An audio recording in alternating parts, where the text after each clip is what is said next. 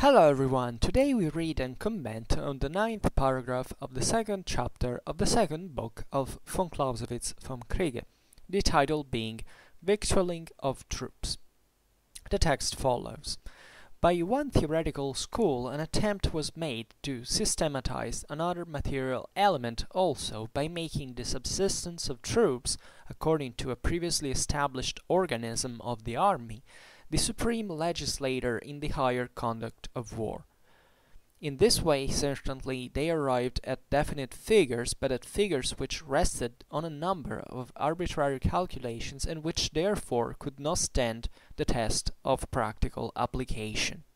So here von Clausewitz continues with his historical approach to the explanation of how the theory of the art of war developed and uh, these are fundamentally spoiler um, all um, approaches to, in fact, uh, an attempt of, of, constructing a positive theory of the art of war that eventually will be rejected, right? Um, which doesn't mean that they are important, right? Uh, they're not important, I mean, and that von Clausewitz disregards them at all, right? Um, he basically lists them in order to make us understand, uh, first of all, how many factors objectively intervene, right, in the in war in general, and how difficult it is to frame them, and how this initial approach to uh, the theory of the art of war was essentially finding out, you know, having realized that matters were way more complicated than they than they uh, had appeared before. Um, that certain, um, you know, more uh, practical, even ma materialistically oriented, as we've seen, approaches to the matter were were tried initially, right?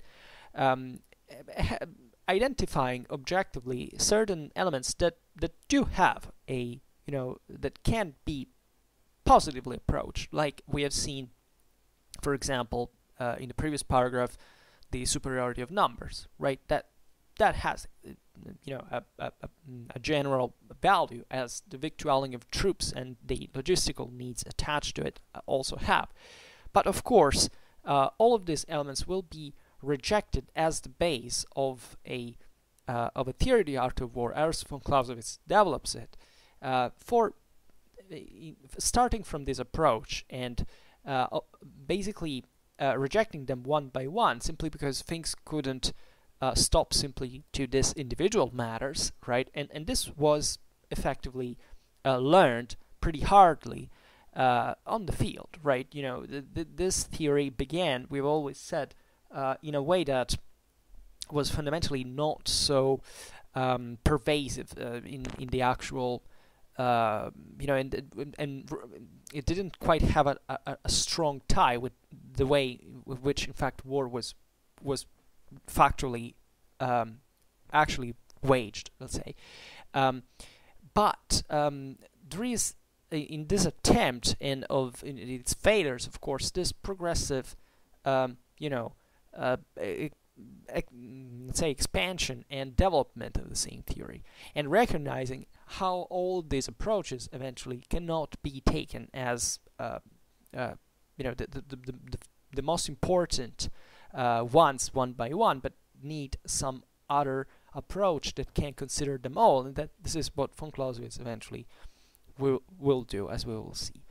So the victualling of troops, quite a big deal, right? So um, an army marches on its stomach, and objectively, um, the victualling of troops was a great problem in a certain historical period when, in fact, mm, the first permanent armies were um, were starting to be um, to to need uh, an effective logistics at, at their uh, and being supported by it, um, simply because um, it's evident that, for example, talking about the previous paragraphs, you can have a superiority in numbers, but you, you know you, you you are not going to do anything with that if your troops do not eat.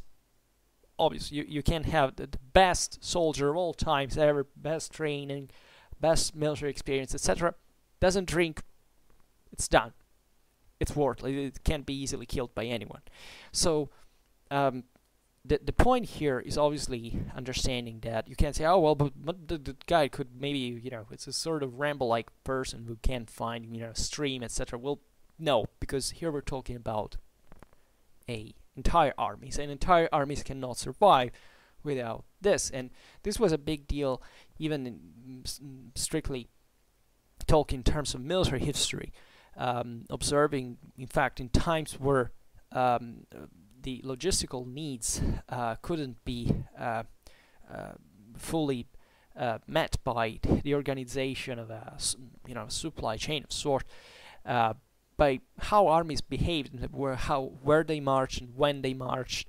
Uh, think about I don't know this great Mongol armies of the Middle Ages when you have even uh, you know tens of thousands of of horses that need to drink an astonishingly high amount of water at all times. Well, simply there were seasons in, uh, in which you you couldn't even set out on the on the marsh because you know there, was not enough water. You had to to work kind of the, um, the for rivers to be you know pretty uh, pretty well uh, rich uh, uh during uh, after the ices melt uh, in order to, to find the, the enough. So it's not even a matter of fighting in a desert or where there's no water, because even you know in Central Europe you can have a dramatic uh, lack of water if if you and and uh, and, and your army disrupted. If in fact you you don't campaign along a river or close to a lake or just great basins where you can um, satisfy the, the army's uh, thirst.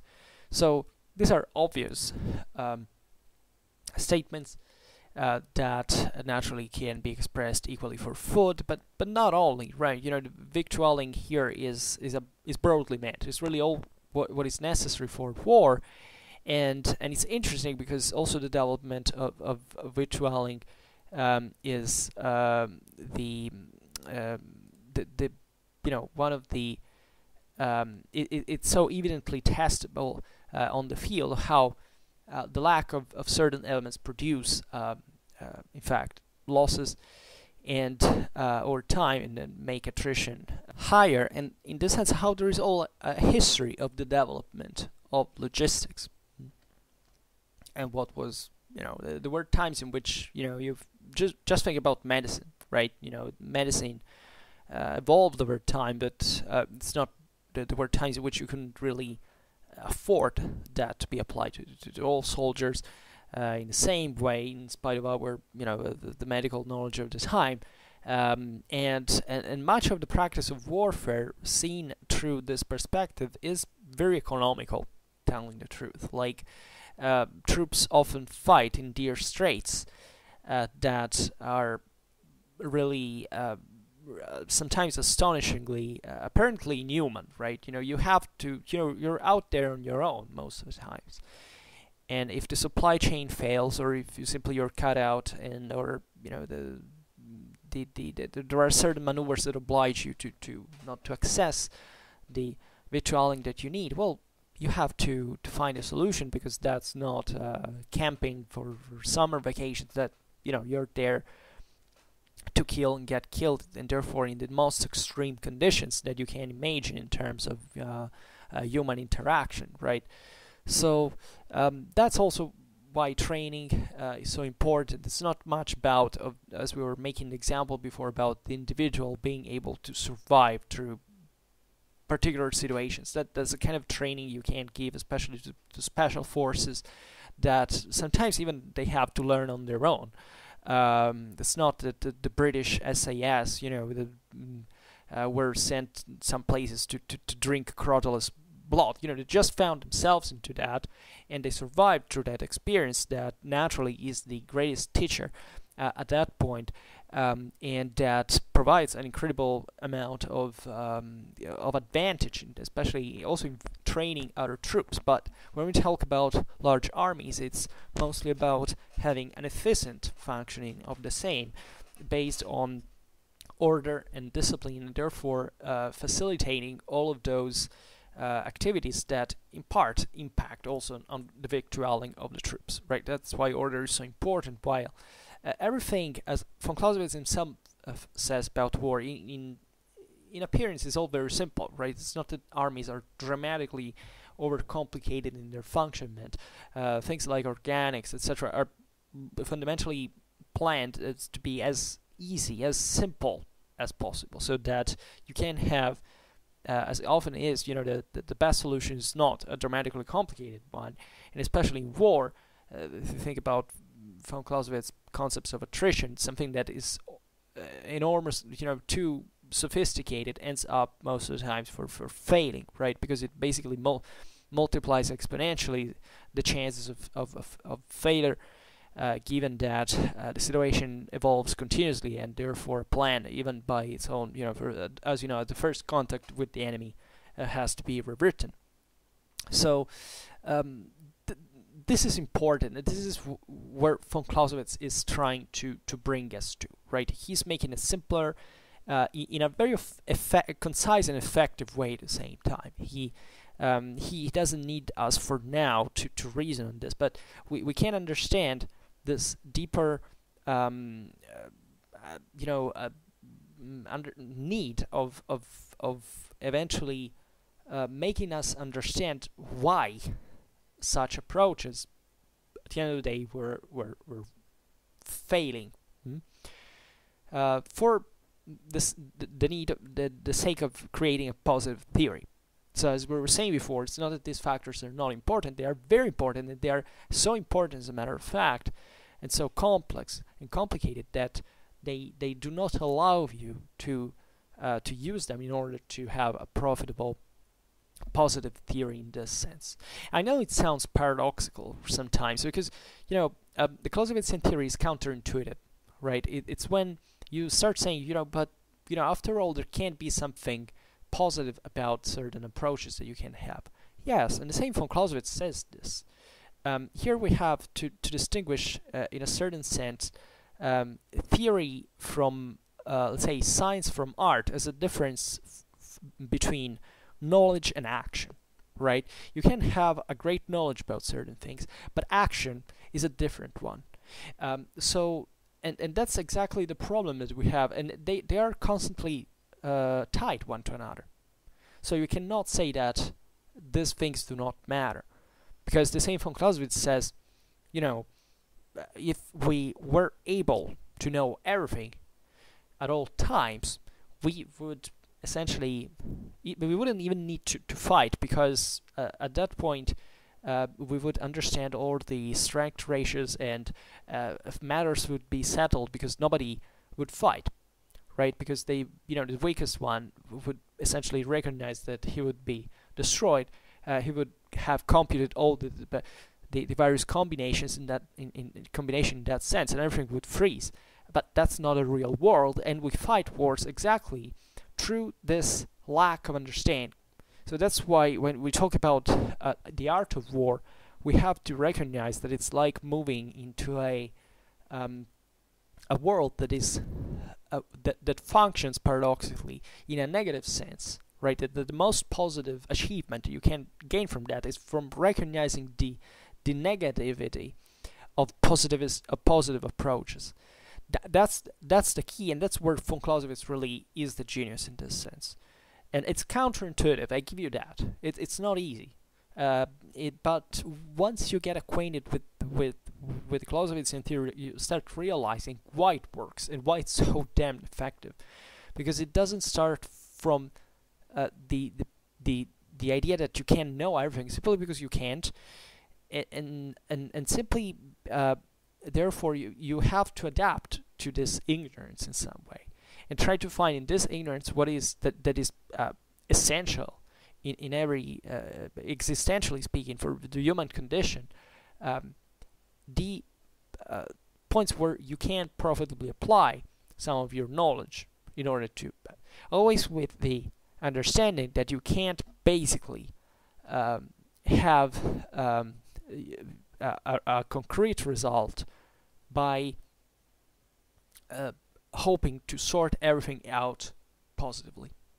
You can't because the time you spend to do it, you're, you're already defeated at the end of the day. So that's the point which doesn't mean you shouldn't care about knowing a lot, but you should invest in this knowledge in a proportionate way with your chances of applying um, this knowledge in action.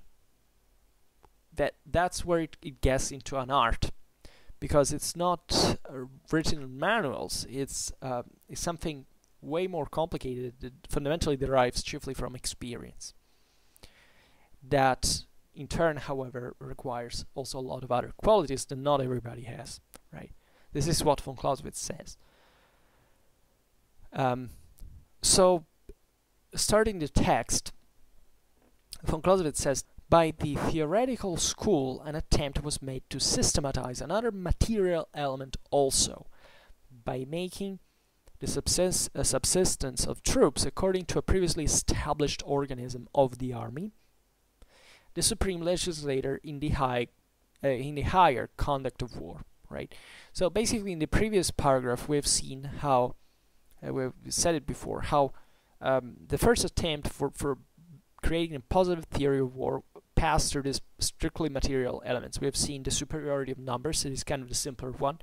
Is trying to reduce everything to an arithmetic uh, arithmetical um, system, like saying you know four bits too, right? And uh, so having this very abstract uh, idea of what that could mean, and and we have explained step by step how this theory, let's say, it, it's the least important the more it's abstract, but at the same time it was still functional for the war of the time, right? Especially when warfare was strictly homogeneous in many ways.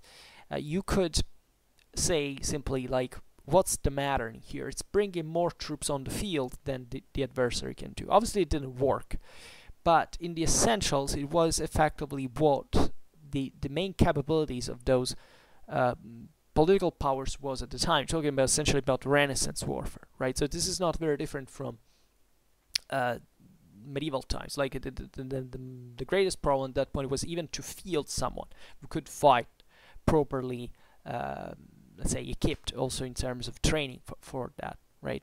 So let's also not see this criticism as a uh, as von Clausewitz fundamentally condemning what was going on because he's referring here purely to the theoretical side of the story as a military historian, he perfectly knew that this was happening because there was a context in which uh, th that minimal level of theory was being formulated.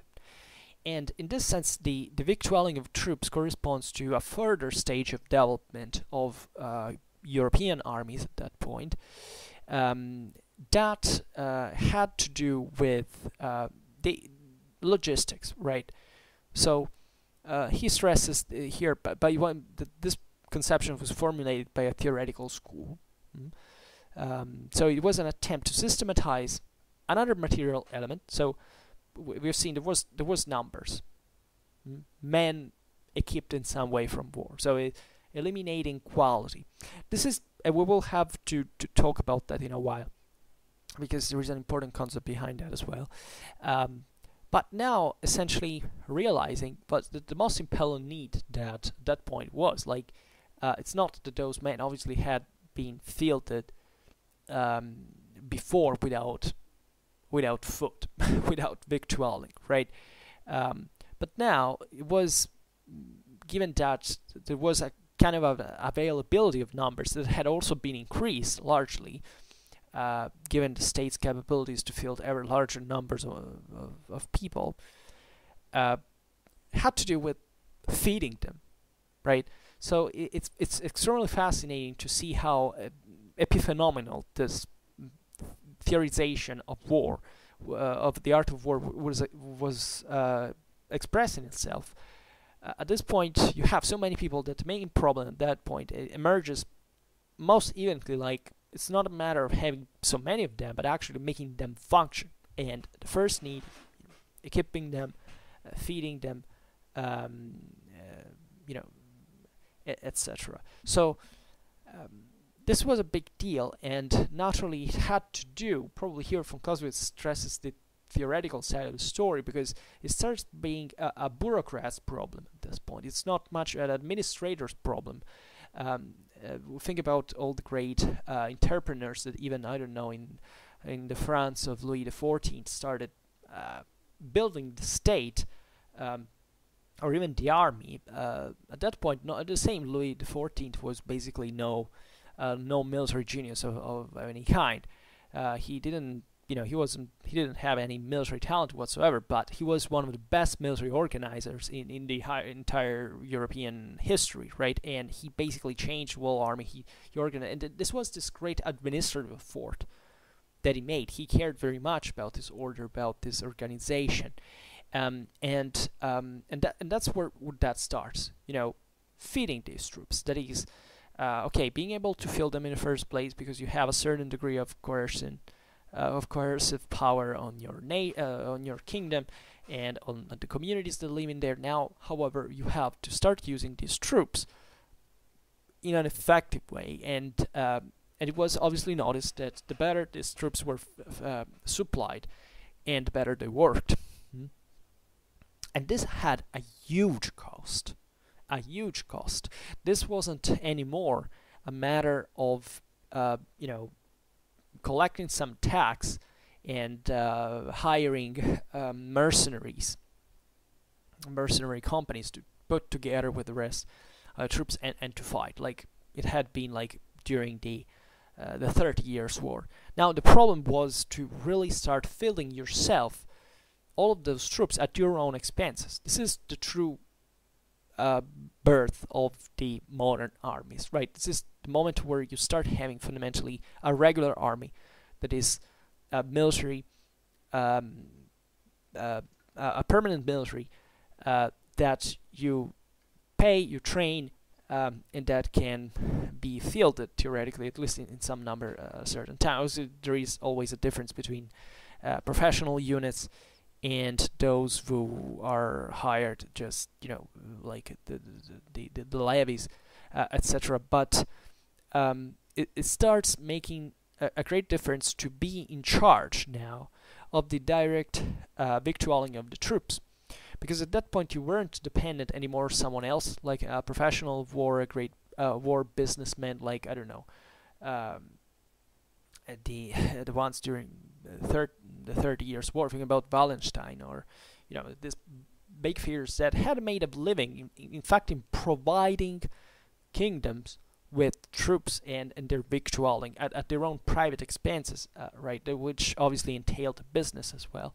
Here it was a matter of, of the state doing that, right, and, and and this is a great change in history of, of, of the Western military because um, these are not like ancient armies anymore. These are armies that have started to have mm, not just massive numbers that you can find occasionally also in the ancient world, but certain technologies that amplify um, enormously the logistical needs. Think about the logistical means of artillery.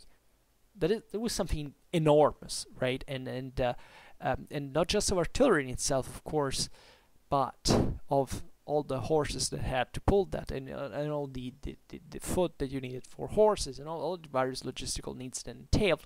You know, maybe we'll, we'll have to make a video on the uh, essential uh, logistical needs of an army uh, throughout history because uh, that gives you the, the, an enormous... Have you an idea of how much a horse drinks or eat every day? It's, a, it's an astonishing amount of like only of drinking it's like 40 to 50 liters of water a day and then it, it the horse takes like one third of the day to to to uh, to to pasture like to to eat all the grass around you know uh, think about all the time and all, all the calories that are spent in all of this and all the uh, logistical limitations that you have. So this is a, a, truly enormous problem and never underestimate what the logistical needs of, of an army could be already from from from the medieval times actually to to move um, horses like stallions like enormous beasts, like 600 kilos already by themselves um, that is eating 15 kilos of stuff every day. Uh, and, and and just think also about the the demand the, the yeah uh, the troops needs uh, of themselves you know. Enormous enormous. And this had always been problems right now but at this point, but they had been overcome in, in different ways because the needs of these armies were had been relatively more contained. Now the needs are greater, and it's not just uh, a matter of, of propor uh, proportionally direct uh, increase, right? Uh, the more an army increases in size and, and the more in proportion is higher the need of it in proportion that is not in absolute terms. It means that to make an example you know if one uh, I mean let's say that the, the 10 is satisfied with 10 uh, 15 is satisfied with 20 right? So it's it's a great uh, increase um, in the uh, in the attrition in itself. And, this is simply explained mathematically speaking. It's fundamentally a system. It's a larger systems with more variables and uh, that creates more problems right? So uh, it's quite a big deal. And um, in, in modern age uh, you can argue that great part of the force of the, modern state uh, emerge exactly from this logistical needs of the army right? Not really at this point feel needing to feel them to feel the, simply the troops uh, uh, decently trained and equipped or assembling for a short time, but keeping them on the field for much longer, right, and with much larger uh, logistical needs. And and there was all a um, you know practice behind this. Uh, you know, the, the, you, you, the, let's remember that this uh, this arts had are empirical by definition. Like uh, this armies had not been born just through this theorization, right? Uh, they they had managed to put them together through this enormous, almost miraculous effort, in which every single uh, individual at, at, that point had a, a crucial role, and, and, there were naturally people who made a living through this um, uh, through this ability of selling their own services regarding to these forms of organization. So it's uh, it's very important, and that's why uh, this entrepreneurs of war uh, are progressively institutionalized in uh, nations because they, they were needed to, to build right a uh, and to systematize in fact uh, such ad administrative needs. Mm.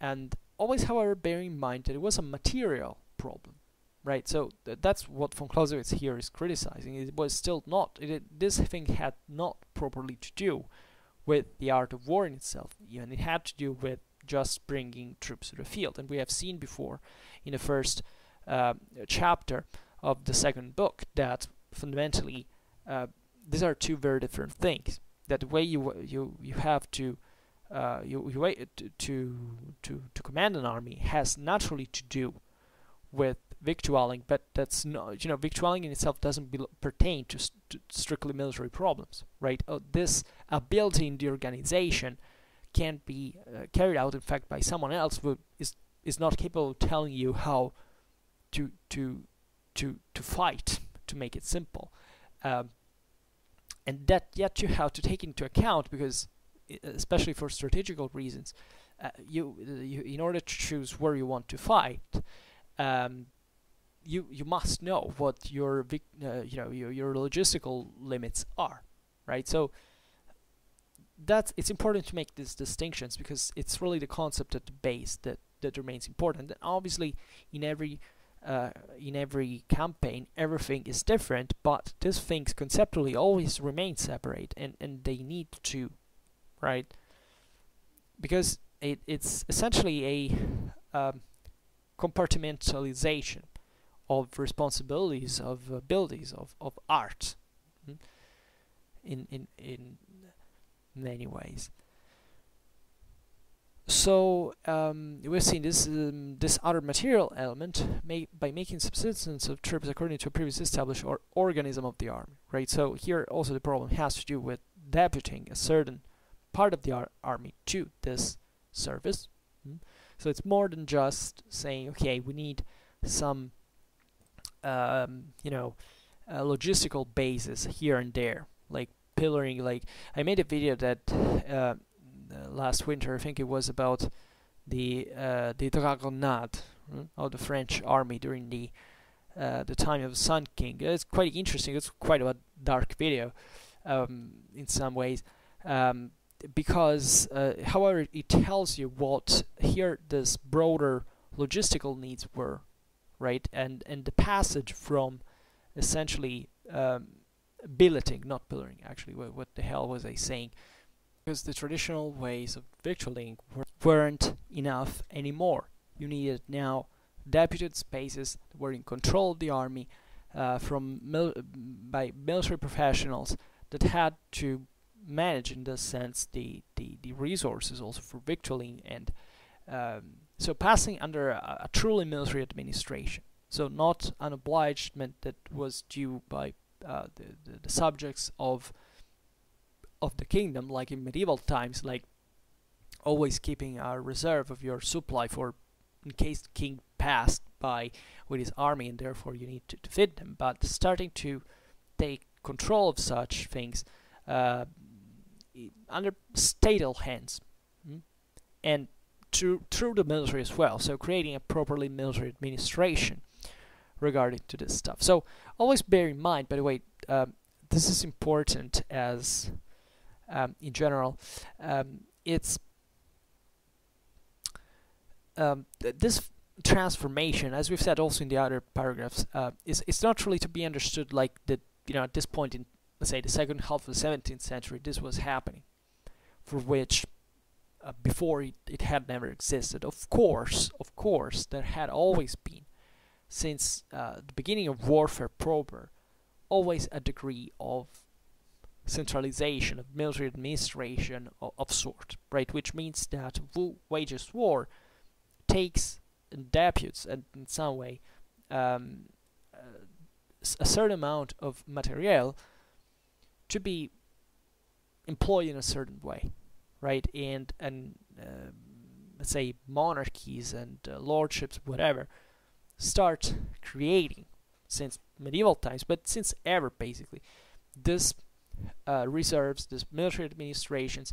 So we can't talk about permanent armies proper. That is something that practically begins just to, to approximate a little bit from the mid 14th century. It's but partly conceptually had already existed since ever. But it's, it's this um, need of, um, aside from an army for war, needing a military control certain resources. So having garrisons, to make it simple, that can guard certain uh, important uh, strategical outposts and, and, and, in this sense control uh, resources uh, that are to be used essentially by the military, right? Uh, just make an example, castles were garrisoned during the Middle Ages. And in this sense, you can find a certain element of centralization when you have a permanent garrison that is paid by a, uh, a kingdom, a city, or whatever, that at that point is not just you know a, a feudatory that stays there in the name on behalf of the king and just uh, taking measures in his own hand. There's a real connection between the two, like book commands and and how you you get uh, how you can be maintained at that point there. Um, I also wanted to make a point, I think, on quality, but I I forgot maybe about this what I wanted to say. However, more or less the concepts are revolving all about this this ideas. Um, and and and here uh, von Clausewitz points out how far in in many ways this take on victualling had gone obviously in the wrong direction because it here it's been transformed um, I mean the organism of the uh, of the army that is deputed such uh, to the subsistence of the troops becomes the supreme legislator in the higher conduct of war. In other words, uh, it was believed that it was sufficient to have this great military administration that could supply troops in order to have victory, right? So giving a great importance more to uh, businessmen than military men. That sometimes were actually the same people, but uh, that um, you know uh, at that point, uh, especially with the rampant growth of um, of centralized states, uh, at least in some some areas of Europe uh, had become those who could really manage uh, this huge amount of, of resources that ob objectively the uh, states had never had under their control. So probably there was this um, excess of abundance that is typical of the 17th century, uh, also in, in art and science and uh, excuse me, philosophy, etc. This idea that there is this great material wealth for the first time since a long time, and uh, the uh, um, and and that, however, that was a kind of a a delusion.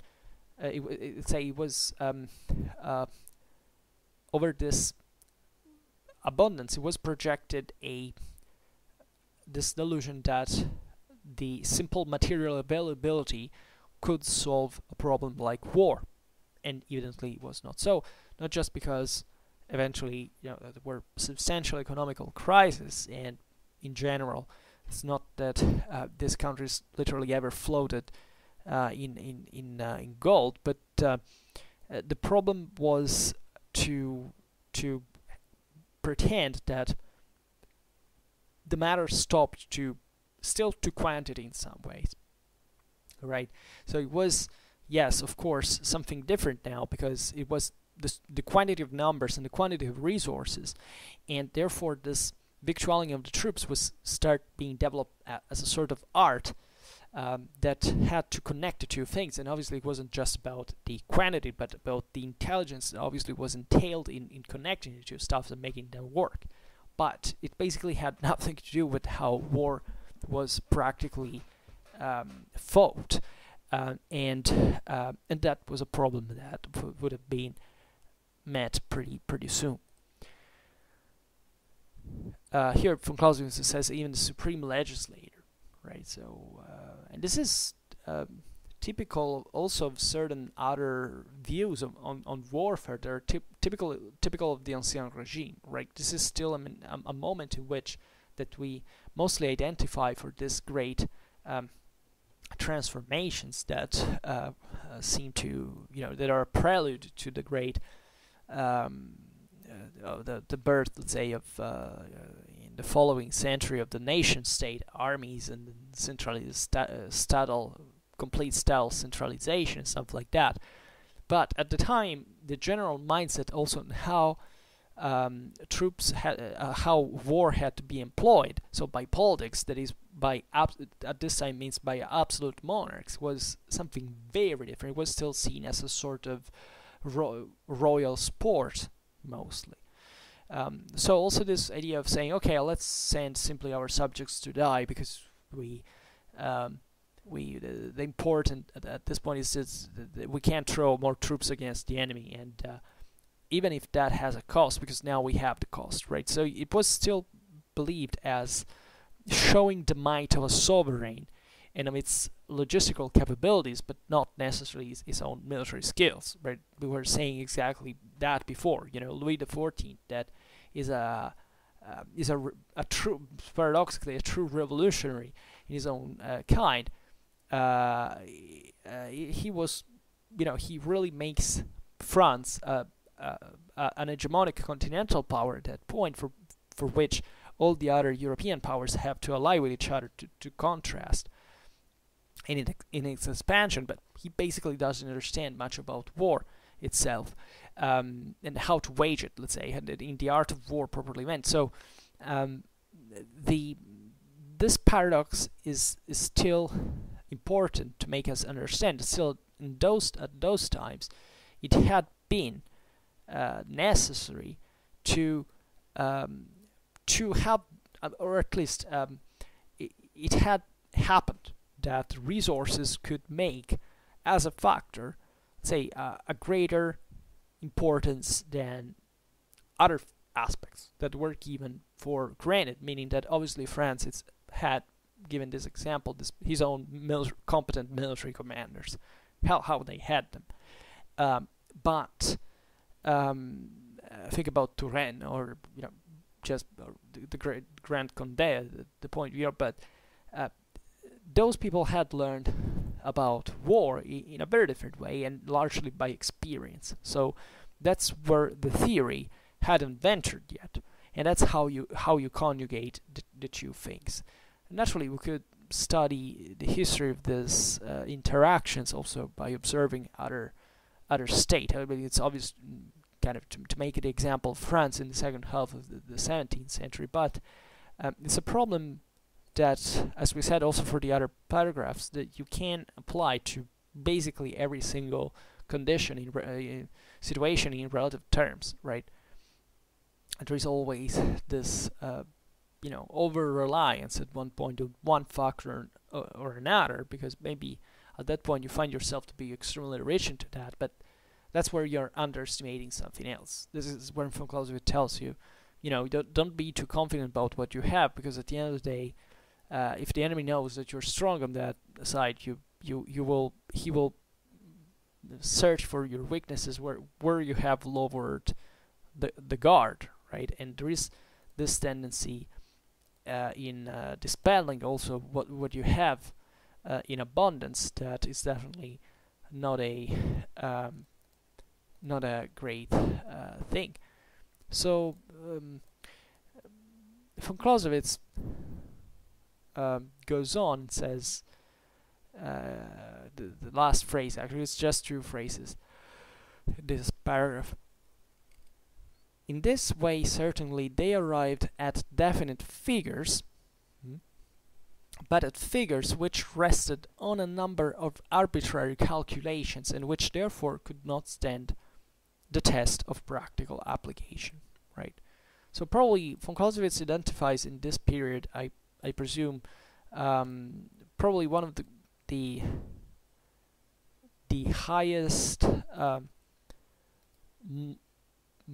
systemic over reliance on on on this positive theories. Uh, or maybe not. We will see in the future because actually you know he was writing from the century of positivism at this point. So uh, that probably tells us something. And as we were saying before, it's not that everybody, you know, was was so, uh, you know, it's not that the commanders were necessarily all in love with this idea. Oh, let's have more. They, they understood that there was more than just victualling, right? Uh, but it seems that here the theoretical side of the story kind of took over, but too excessively. Um, and simply because, in fact, it had as we've seen, a very few to do with the leading of the army in itself. So, and he and he von, von Clausewitz even gives that such calculations definitely brought to certain definite figures. I mean, it's very important what happened at this point historically speaking. You you can't calculate how much an army can can eat, right? Uh, you know, if you know how much uh, a human needs to, to eat and drink or a horse to eat and drink, you can easily calculate, mathematically speaking, how much is that you you you need. And it was evident to, to these people, of course, that you know these needs were greater, let's say, in certain, uh, for example, seasonal conditions than, than others. That this was an old knowledge, right? Uh, there was a time in which, still, of course, uh, today, if you want, and uh, um, th there are uh, it's easier or more difficult to fight and this influences the, the conduct of war uh, in itself. Um, so uh, let's not think that these figures were easy to draw because the systems start objectively to require very complex calculations in order to define you know how much an army can eat and uh, and uh, and to rely on such figures accordingly, right? But von Clausewitz tells us these figures, however, rested on a number of arbitrary calculations overall. What does this mean? It means that you can, once again, pretend to have found kind of a scientific approach to the story, saying, okay, I need this amount of food. And um, the the concept is okay but uh, couldn't something worse happen? Like okay you you prepare everything for for a campaign like that. But what happens is that your supply uh, lines get cut off. Now what did that help serve to, I mean, obviously it served to make your army functioning up to the moment in which uh, its supply lines were cut off. But what about now?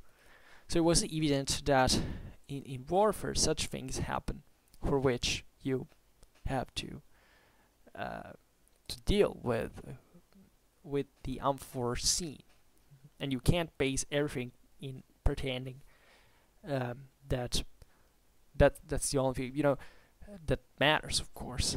Already in the 18th century, consider, however, the importance such things have, like cutting off supply lines was a major concern, as it still is a major concern of any army at this point.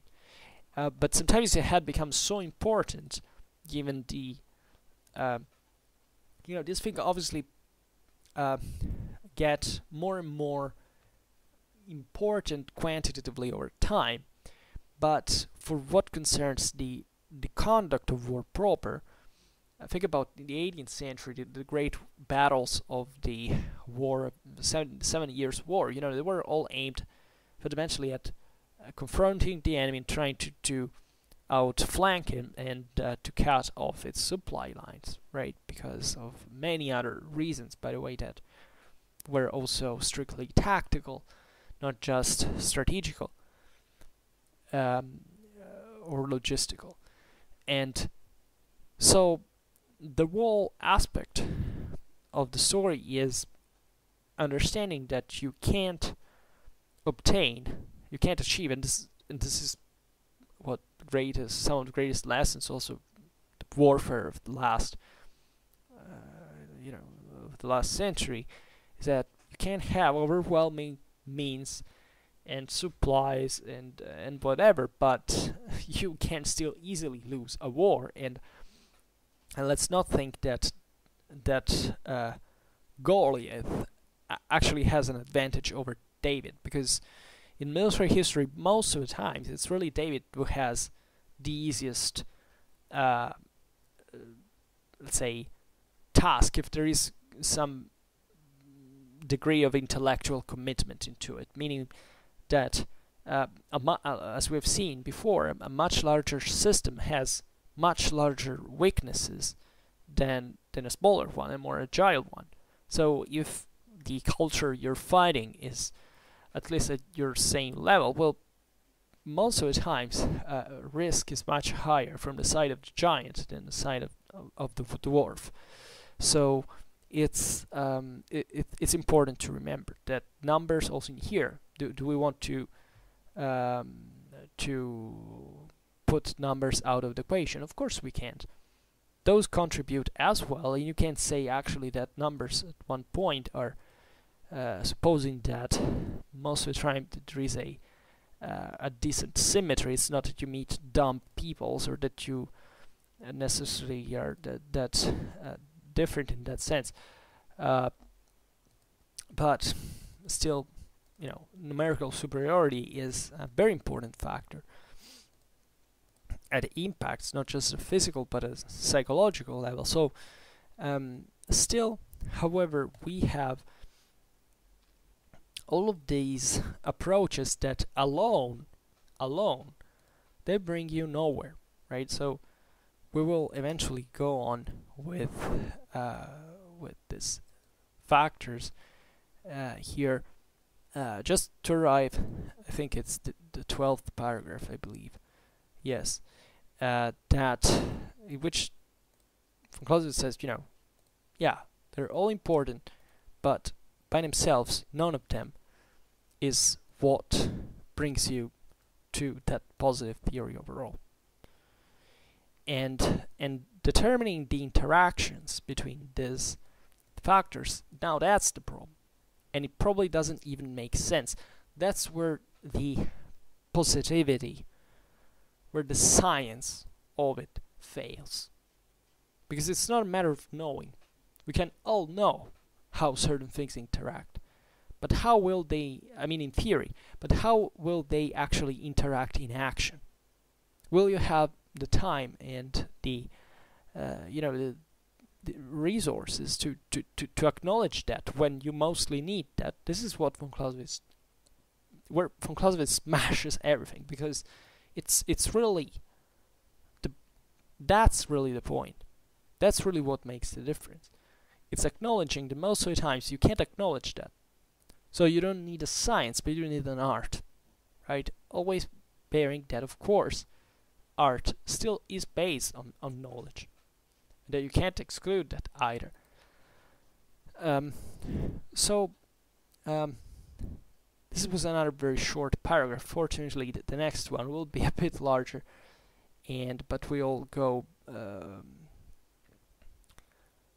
by. We'll soon talk about interior lines and so on. So, this is an interesting um, uh, chapter because it actually deal starts dealing with more concrete matters. This historical approach to to it is, is very interesting because it, it's basically a journey through uh, not just through history but also through intelligence, right? It's how it, it, it here von Clausewitz traces how intelligence intuitively approaches these problems in, in order of interest, let's say, and uh, how it has to to to grade to to lead to a, a different kind of approach that excludes uh, positivity uh, in itself, and uh, and yeah, we, we could add a lot um, to all of these reflections. I don't know what you think about them. I don't know whether you were watching this video for for um, because you found uh, uh, it randomly uh, out here or you you have been following the whole the whole series since the beginning. But I think it's important at this point to to have realized what also von Clausewitz um, dialectical mechanism really is right? And that's very effective as as we have noticed it really gets straight to to the point uh, because unlike me uh, unlike um, this this video it doesn't stop to, to explain all of this stuff right? He manages to to put them in an order that basically does not require further explanation at the end of the work. And and therefore there is also this uh, enormous um, intellectually forced to to um, um, I don't even know how to, to, to clean this this theory. Always bear in mind that von Clausewitz, yes, he was about to finish this work before his death, but um, uh, still, you know, this was still put in a somewhat um, temp, you know, uh, it was not finished. However, right, there had still points to, to be uh, developed. And he he needed to to make uh, sense still of, of, something. Just uh, the first book is finished. Remember this. So this is meaningful because uh, there is even probably but we will talk about that only when we will have reached a certain degree of of advancement in this thing. It probably von Clausewitz, um, I mean, not that we know it directly, but given his theory, von Clausewitz probably missed one last book, uh, which was about uh, sieges as decisive battles. But uh, there is a lot to, to say, and for now we we're still just beginning to to learn the author. I, I don't know, frankly, what this um, what will I think about this this series of videos now uh, when if uh, first of all I if I ever manage to, to finish it uh, to complete the Vom Kriege because objectively um, I've learned a lot myself ever since I began to, to make these videos about Clausewitzian theory and I finally began to, to understand it more clearly because one thing is just studying it uh, step by step and you know searching for certain uh, lines and quotes that seem uh, somewhat the resolution but you, you can't approach you can't approach the system this way you have to to read it and to stop reflecting it and trying to, to make sense of it on the base of what von Clausewitz has already given you, right? So it's not really about him that needs to be understood, but you, I mean, yes, it, it is, but uh, he he has already explained that. It's, it's most likely you who has lagged behind because you have basically not understood what he was talking about, and you have always to think that such, mm, um, you know, everything that, that is written in the Vom Kriege is tied to, to what von Clausewitz has said before. This is not a, uh, an, an, an anecdote like saying, well, thanks my eyes, you know, that it's a book, and you have to bear in mind what what has been written before. Yes, but not a, as a vague idea, like, oh, okay, yeah, now I, I've read this stuff, and uh, I can't pass on without, uh, I can't go on um, uh, without having fundamentally to to mind about in detail what he said before. You you actually must if you want to understand what where von Clausewitz is going, because this is all a very complex and interconnected system that you can't avoid to uh, to you know to, to interpret without without actually understanding step by step and its consequentiality. Uh, it's like a chain of rings. If you miss one ring, you you may have understood all the others, but still you haven't understood the wolf. Right. Um. So, yeah, and I don't know how long is it that I'm talking, but I assume, and I don't know how much. If I can't say something more, maybe uh, this given that this was a short video, but anyhow, it's, it's not really a problem. And uh, alright, so for now, let's stop it here. I hope that you enjoyed this video. If you did, please share it, otherwise leave a like or subscribe to my channel if you're interested in my upcoming contents. And for now, I thank you heartily for listening to me. I wish you a nice time and see you next time. Bye.